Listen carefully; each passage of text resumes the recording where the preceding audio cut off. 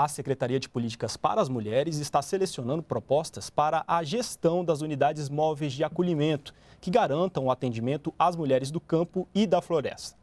Ao vivo, o repórter Ricardo Carandina tem os detalhes para a gente. Boa noite, Ricardo.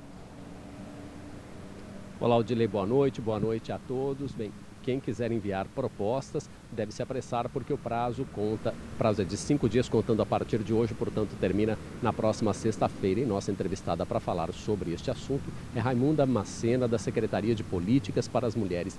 Raimunda, bem, primeiro, como é que funcionam essas unidades de acolhimento? Como é que elas trabalham? Boa noite.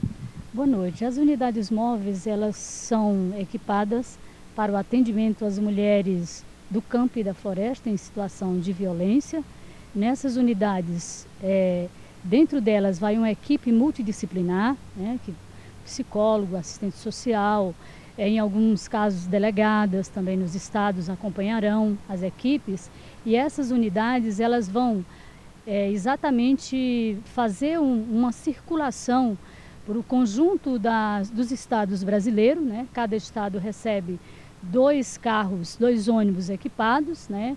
Já entregamos na Paraíba, aqui no Distrito Federal, em Goiás e no Espírito Santo. E vamos entregar agora no dia 20, mais a dois estados, o estado da Bahia e o estado de Sergipe, né? exatamente para fazer todo esse percurso, que é uma grande reivindicação das mulheres do campo e da floresta, é que não tem mecanismo que chegue aonde elas estão, nas suas comunidades, principalmente para discutir e para acolher as mulheres em situação de violência. Essas propostas elas são para prestação de que tipo de serviço? As propostas agora, esse edital que a SPM a, é, lança hoje, é exatamente para fazer toda uma manutenção dessas unidades, que vai a manutenção dos veículos, né?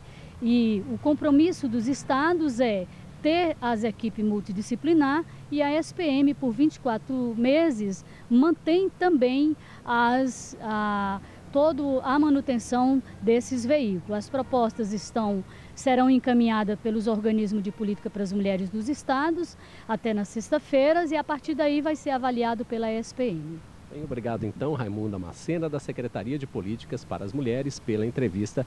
E lembrando que as propostas devem ser encaminhadas pelo portal do SICONV, o Sistema de Convênios.